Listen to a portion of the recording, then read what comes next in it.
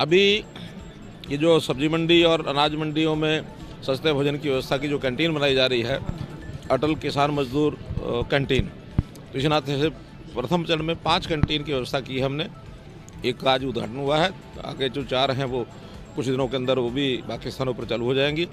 लेकिन हमने विभाग को कहा है कि ऐसे सस्ते भोजन की जो कैंटीन हैं ये जहाँ जहाँ किसान हैं, मजदूर हैं या लेबर के जो लोग होते हैं, इस प्रकार की ज़्यादा ज़्यादा ये कैंटीन खोली जाए। लेबर डिपार्टमेंट पहले से ही लगभग दस कैंटीन चला रहे हैं।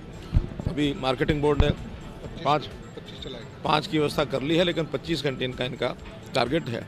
इसके बाद हमने कोऑपरेटिव डिपार्टमेंट को भी कहा है कि जो गन्ना मिले हैं, वहाँ भी किसानों के लिए, मजदूरों के लिए इस प्रकार की कैंटीन शुरू की जाए।